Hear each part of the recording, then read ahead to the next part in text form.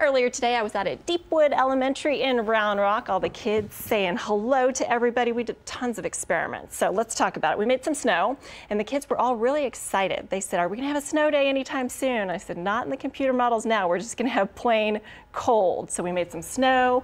We also tested out an anemometer to see the wind speeds. We talked about tornadoes and of course had a great time. So thanks for the kiddos for inviting me. Didn't make enough snow for a snow day? Not enough, just, just a little Not container full, not enough to cancel mm. school. Too bad. Bob's, you're not with